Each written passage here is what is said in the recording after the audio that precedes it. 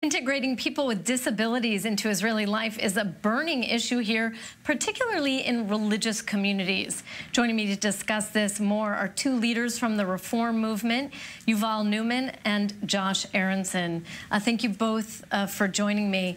Uh, this is such a kind of relevant issue today because there's such a debate going on in the world about how to integrate best kids with disabilities.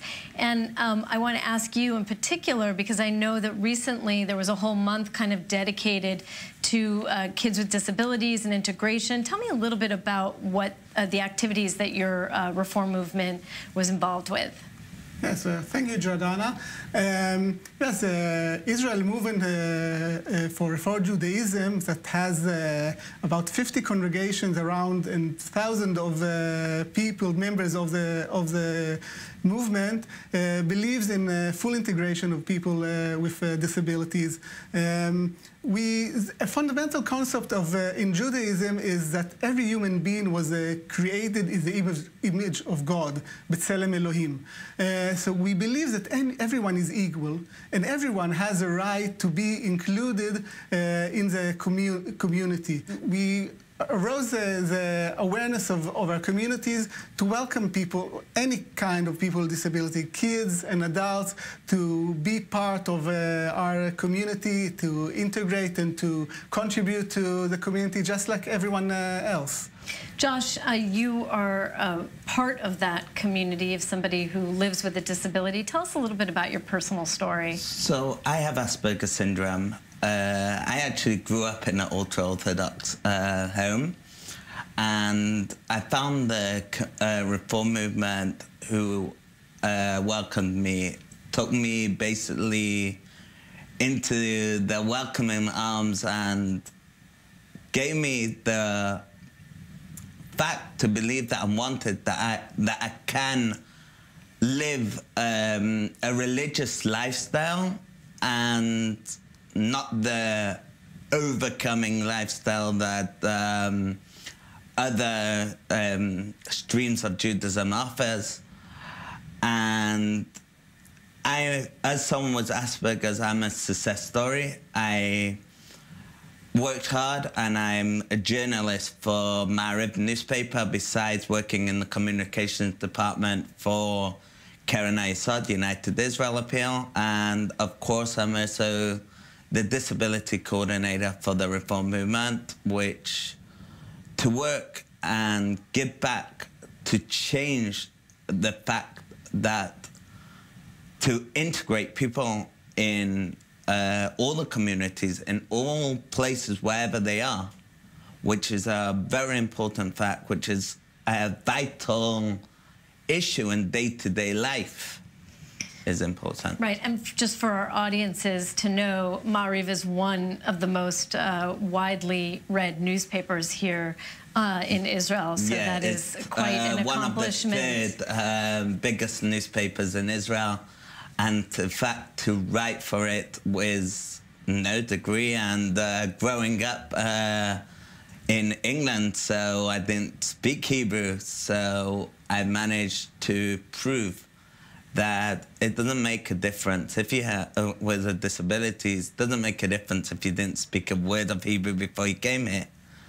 But you, you, if you push hard, you can get anywhere.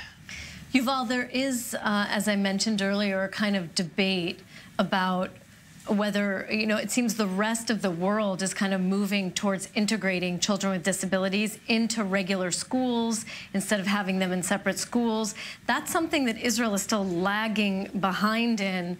Um, are you confident that Israel will kind of get uh, on the program and start to really work towards integration? Um, because that is not happening yet here. Uh, well, it maybe it's not, it's not happening enough. It, it does happen uh, in some places. I can tell you about our uh, school in uh, Haifa, Leo, the Leo Baeck School, that does have a special program for uh, kids on the uh, autism spectrum that are part of, of the school. They are part of, the, of the, the classes over there. And um, we, we work and we believe that uh, any, anyone, if you give them the chance, they can be part of, uh, of any uh, system. They shouldn't, you shouldn't take people uh, outside of the system and put them uh, outside and then to, to try to bringing the, to bring him back. They need to be from the beginning, from the school, from kindergarten, as in part of, uh, of the community. Right, there's still a far way to go because, for example, in Jerusalem, in some schools, you're only allowed to have one or two spots reserved for children with disabilities, mm -hmm. which is uh, not meeting the, the needs of the community.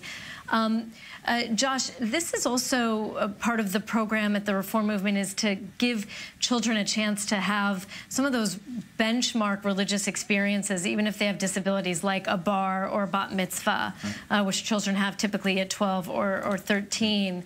Um, tell us what the program, the Reform Movement, is doing to, to give that to those kids. So every um, every person has the right for a, a bat mitzvah and what, whatever temple, synagogue they go to, we will be there to help them, to assist them, to have that bar mitzvah.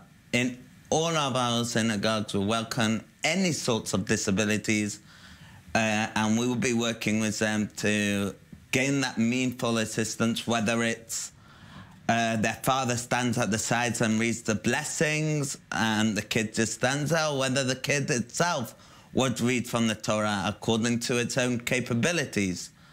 Uh, we also have a, pro a, project in one of our schools in Modi'in, in Yozma, that um, it, there's a hostel near the school, and the fifth form and the sixth form together make a bar and bat mitzvah for a student of that hostel. Uh, one of the classes goes with them to the kotel, and they dance with them at the kotel, they pray with them at the kotel, and then the other class makes a party at the school for them. And the combination, the um, happiness, I mean, we've had even Orthodox um, um, children doing bar uh, mitzvah by us because they don't maybe they don't agree with uh, what we do and with with our uh, movement but they want their kids to have a bar mitzvah. Uh, Yuval, I wanted to ask you as well if you are reaching out to the other streams of Judaism, the conservative movement, the Orthodox movement, uh, and other communities here uh, to build bridges and expand some of your programming? Our uh, doors are open uh, always, and uh, even if someone uh, is Orthodox, it doesn't matter for us. We will,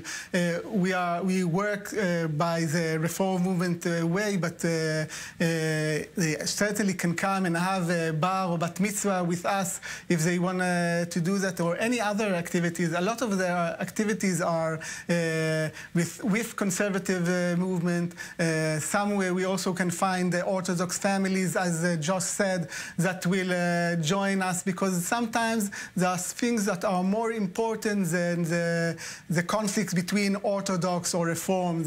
To, be, to be a human being, that is the important thing. We're going to leave it on that, that important note, being a human being.